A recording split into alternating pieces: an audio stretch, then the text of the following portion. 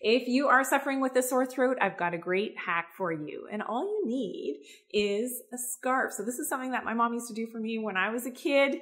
Ideally a woolen scarf for that sore throat and that scratchy throat. You're just going to wrap it around and leave it there. Ideally, you can sleep with this as well and do it in a safe way, of course, for sleep, but that warmth is really soothing to the sore throat.